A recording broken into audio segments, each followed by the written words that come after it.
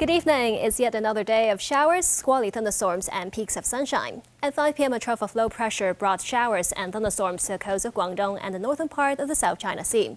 Up until 5 p.m., today's temperatures range from 25.1 to 29.6 degrees, and the relative humidity was between 81 and 98 percent.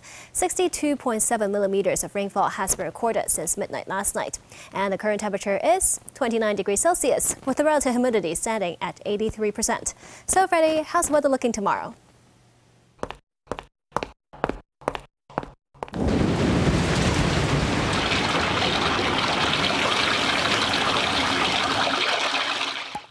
The dreary skies, drizzle, and thunderstorms are here to stay. Showers will be heavier at times. Temperatures will range between 26 and 29 degrees. Heavy downpours at times with squally thunderstorms over the next couple of days. And showers will ease off gradually early next week.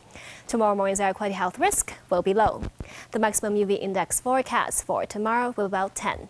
Now to the latest global weather update. Cloudy in Shanghai, raining in Taipei and Xiamen. Raining in Guangzhou, thunderstorms in Macau, showers in Chengdu. Sunny in Beijing and Seoul, rain in Tokyo. Thunderstorms in Bangkok, Ho Chi Minh City, and Manila.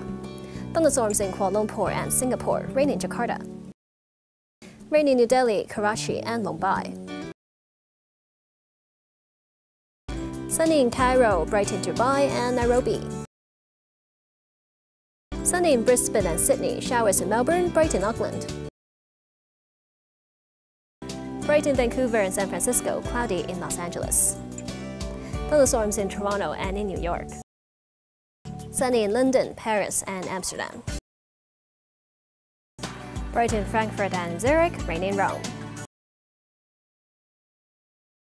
That's the weather. Have a lovely evening.